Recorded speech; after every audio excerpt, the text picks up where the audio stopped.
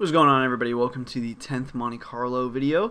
In this video what we're going to be comparing is not only the bust rate but also the profit rate.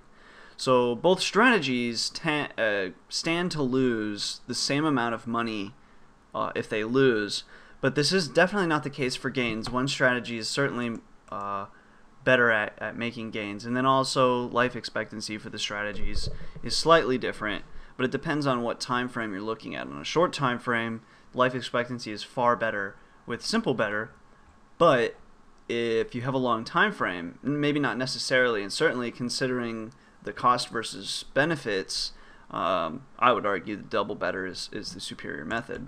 So anyways, with that, let's go ahead and compare the two of these, not only with going broke, but also uh, profits. So, initially we were using the same terminology for both of these was uh, you know broke count and um, doubler profits. So or I mean broke count for both of these. But now what I want to do is say doubler profits and then like doublers busts or something like that. So uh, let's just get rid of broke count and let's say doubler underscore busts and then global uh, doubler underscore profits and then every time it goes here, let's just copy and paste this. Doubler busts. It adds one to doubler busts. And where's the other one? Doubler busts. Okay. So now the other thing that we want to know at the very end is uh, did we profit? So right underneath uh, plt.plot, we'll say if value is greater than funds, so if the value is greater than the starting amount of money that we you know started with, then we made a profit, so that's good. So we'll just say doubler underscore profits plus equals 1. and that's it. Now we'll take simpler better, or simple better, and again, instead of broke count, we're going to call this uh, simple underscore busts, and then we'll global another variable. Again, both of these don't exist, so don't be freaking out if you don't have them yet. Uh, simple underscore profits. And then again, where he goes bust, will or where he goes broke count, we're just going to add this. I'm pretty sure he only had one. Yeah. And this is outside of this, so we don't get confused.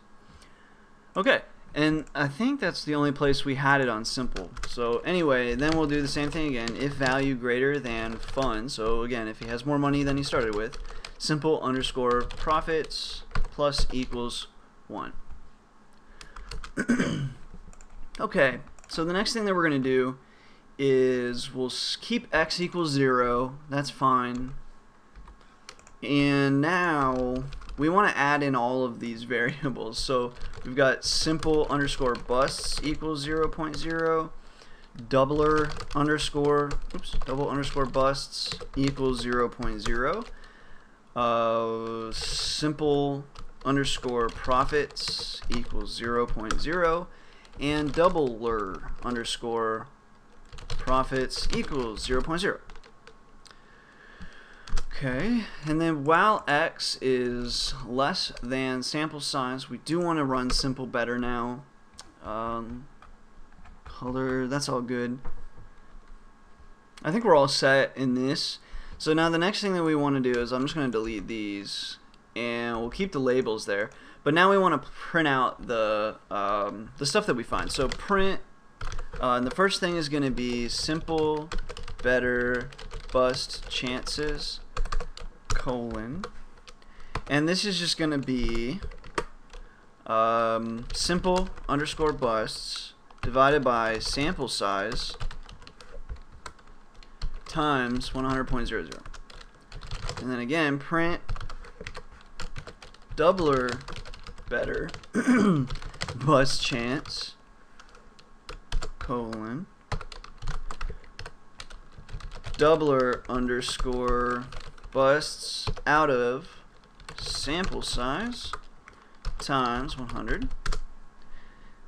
And then now we want to know the profits. So not only do we care, you know, does somebody go bust, but we also care, does somebody make a profit?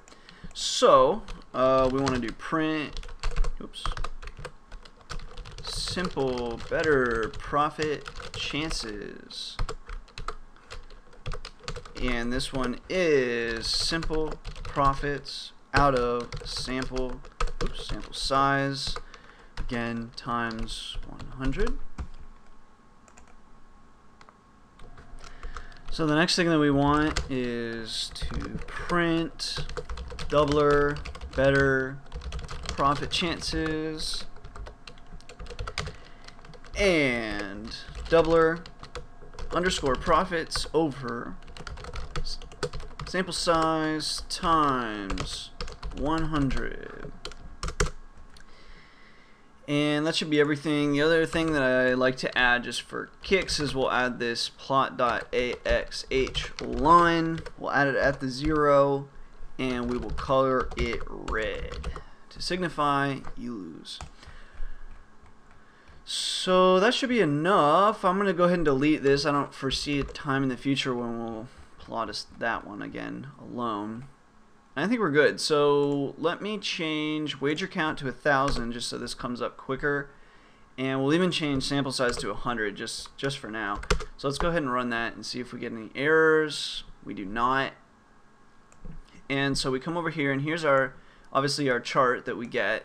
Um, and then the next thing is, uh, so we can see how you know good people did. So simple better bust chances zero. Not a single simple better lost money. So that's cool. Um, double or better bust chance, 87% chance of going bust. Um, so very high percent chance of going bust. Simple better profit chances, 33%. Double or better profit chances, 13%.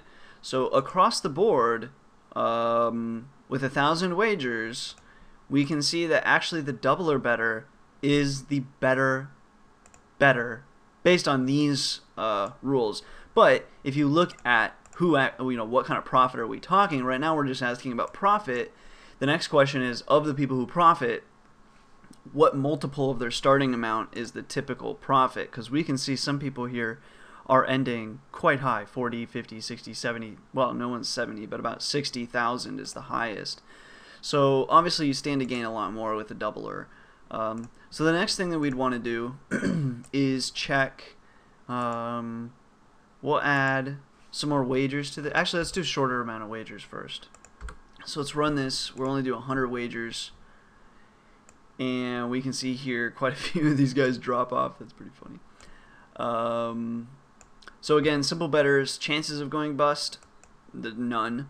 Doubler better's chance of going bust is 30% chance of going bust. And then of the 31%, if you didn't go bust, how likely is it that you profited if you were a doubler? Well, 61%, which I think is pretty cool. So it's if you don't lose, you did darn well. Um, whereas with simple better, it, it only makes sense too since you're doubling up, right? With doubler better or simple better, you only still only have a 40% chance of profiting, or well, 39% chance of actually making a profit. So, you know, uh, that better, um, I just don't know what the point of meaning that better is. But you can see already with a, a even a, only 100 wagers, so you thought you had 49%, almost 50% odds. You would expect that, um, at least initially, you might think, well, I stand a 50-50 chance of profiting, but you don't because each wager is knocking against you. So you can already see here that actually you only stand a 39% chance, not even 40. Keep wanting to say 40 there. So anyway, pretty interesting. Now let's add, uh, let's do one more. Let's make the sample size a little bit larger so it's representative.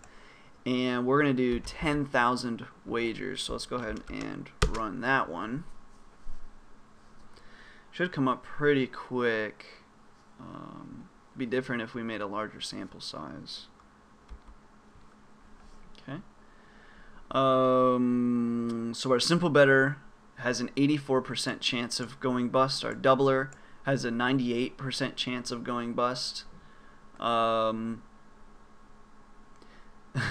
but here we can see if you didn't, if you were a double better and you didn't go bust, you made profit. That's pretty cool. Um, oh, hold on. I'm refusing to believe this. Simple better profit chances 85%. I can see this visually is incorrect. Uh, what have we done?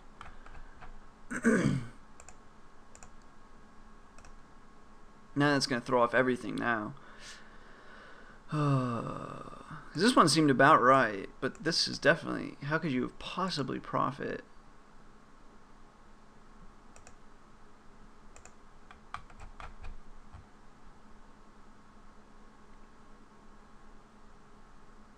Better profit chances.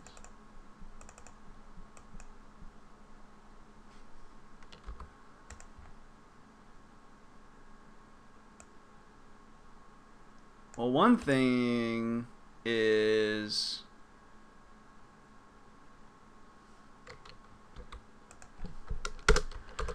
value equals zero there.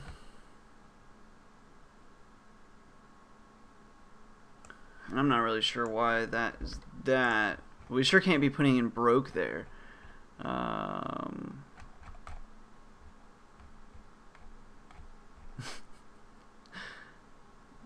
let's see, value equals zero. I'm just so confused at how we could actually have 80. it's so obvious that that's incorrect. So I'm very angry. Sample size we'll go back to 100 and 1,000 there.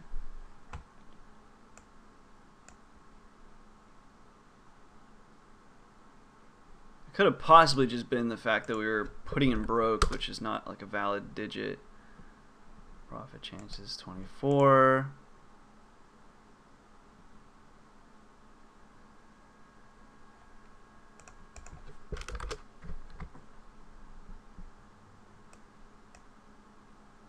Two thirteen.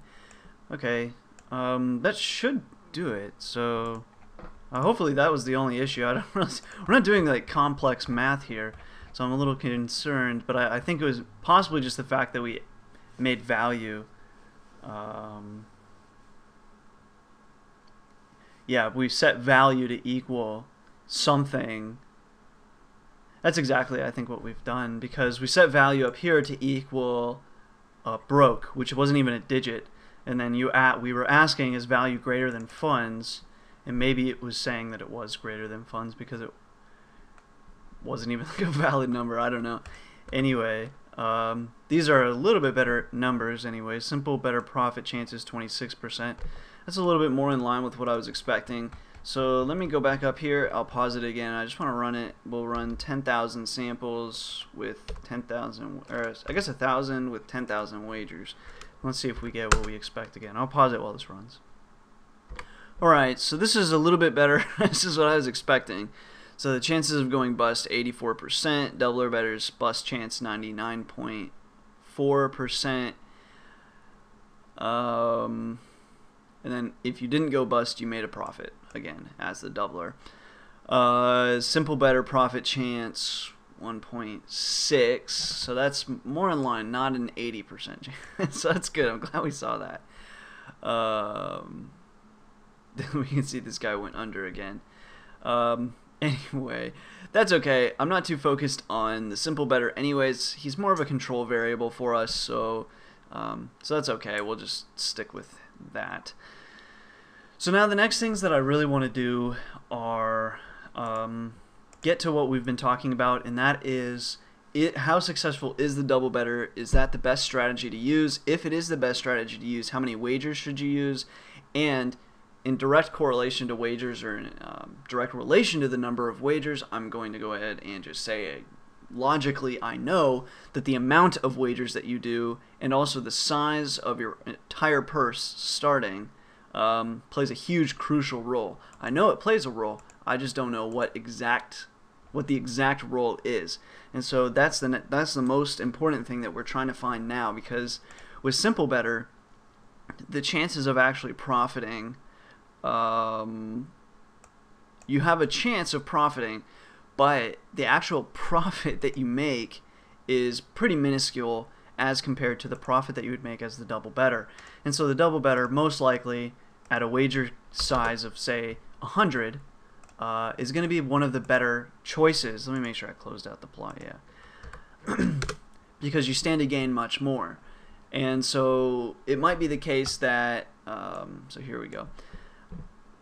Right here, double better profit chances, you have a 66% chance of profiting.